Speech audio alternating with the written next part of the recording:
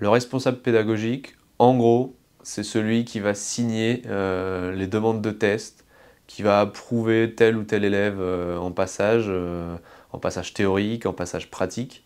il peut être épaulé d'un adjoint, c'est possible. nous, on est ATO à l'aéroclub Sadi-le-Cointe, ce qui veut dire qu'on est un petit peu plus surveillé que les autres et qu'on a besoin de faire un petit peu plus de papier que les autres. On, a le format d'une grande école en fait. Les grandes écoles aujourd'hui de pilotage sont ATO.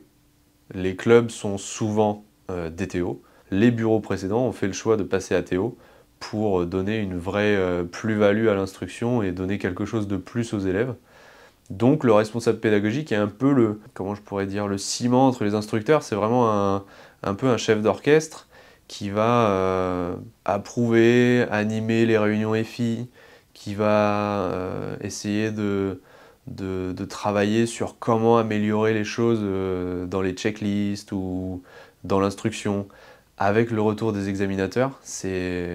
On a des, des, instructeurs chez nous, à l'Aéroclub Sadio qui sont aussi examinateurs et ça nous permet d'avoir un retour particulier, euh, c'est-à-dire, tiens, tes élèves, ils ont un peu tendance à avoir le plan trop haut, tiens, tes élèves, ils ont un peu tendance à approcher 5 nœuds trop rapidement.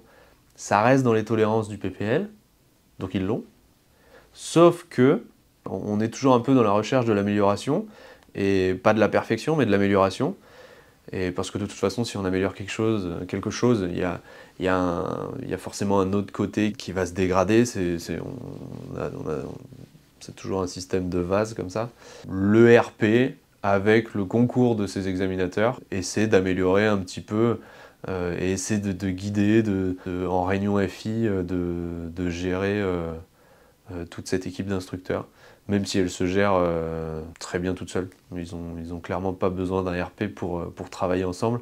Aujourd'hui, on a une équipe solide, efficace, on a des pilotes pros, on a des pilotes privés qui ont un ATPL théorique, enfin un CPL théorique d'ailleurs, on en a qui n'en ont pas, mais qui sont tout aussi bons que les autres il y a vraiment une, synergie et un beau travail d'équipe. Euh. En fait, s'il n'y avait pas de responsable pédagogique, ça marcherait euh, tout pareil. Euh. Il n'y aurait juste pas de point de contact de la DGAC. C'est tout.